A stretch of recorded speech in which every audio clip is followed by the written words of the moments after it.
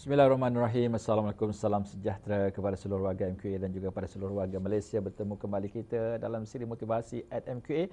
Dan kali ini seperti mana yang telah kita janjikan pada minggu lepas, kita akan bicarakan, meruskan perbincangan kita mengenai apakah yang dimaksudkan dengan pendidikan. So, minggu ini kita akan bicarakan pendidikan sebenarnya seperti mana yang telah sebutkan bukan sekadar maklumat yang kita terima daripada institusi pengajian kita. Pendidikan bukan sekadar ijazah, diploma ataupun sijil tapi pendidikan yang lebih penting sama dia mampu untuk menjadikan kita sebagai manusia yang mempunyai karakteristik yang mempunyai ciri-ciri kepribadian yang mulia. Justru kejayaan seseorang individu melalui proses pendidikan di akhirnya adalah tingkah laku mereka.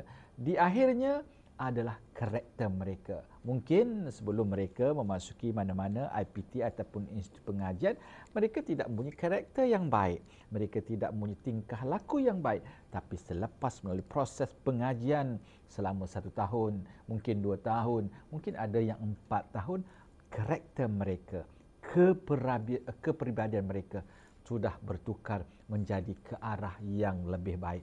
Justru elemen-elemen negatif seperti rasuah, seperti pecah amanah tidak akan berlaku lagi kerana mereka telah berjaya ditarbiahkan oleh pendidikan ataupun pengajian yang telah dilalui selama beberapa tahun sebelum ini telah mampu menjadikan mereka seorang manusia yang jauh lebih baik dibandingkan dengan masa ataupun waktu sebelum mereka mengikuti pengajian di mana-mana IPT dalam ataupun luar negara. Justru indikator utama yang perlu kita lihat sama ada kita telah berjaya memiliki pendidikan ataupun education yang kita maksudkan adalah sama ada karakter kita, kepribadian kita sudah bertukar ke arah yang lebih baik daripada yang sebelumnya. Tetapi sekiranya karakter kita, kepribadian kita tidak berubah ataupun menjadi lebih teruk lagi daripada apa yang ada sebelumnya,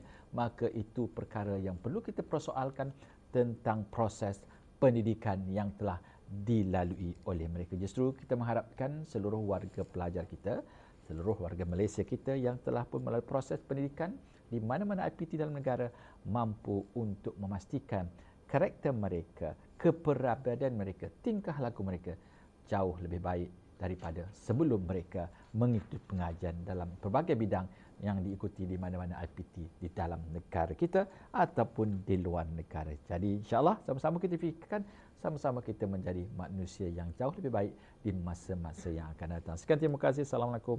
Salam sejahtera.